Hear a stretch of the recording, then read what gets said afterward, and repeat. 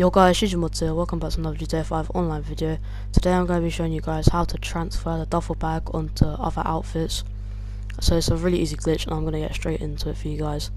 So the first step you want to do is call in your oppressor mark II or your normal oppressor.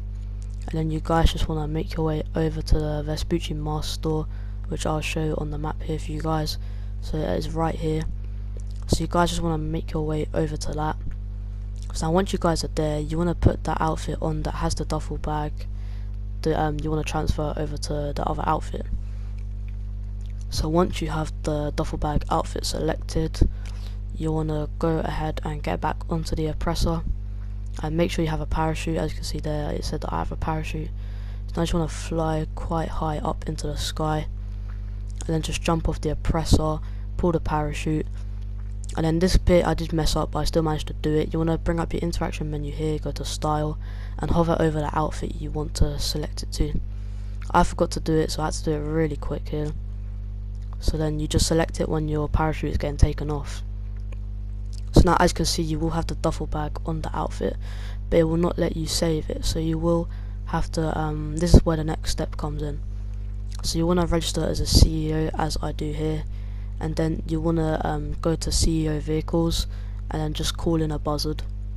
So then once you have called that in you just want to get in inside of it. And then um, the reason you call in a buzzard is because it gives you a parachute automatically. Otherwise you'll have to go all the way to the store to buy another one.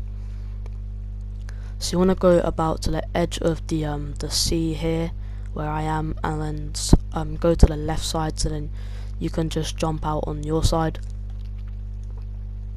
so once you jump out you want to aim for the um the mask store.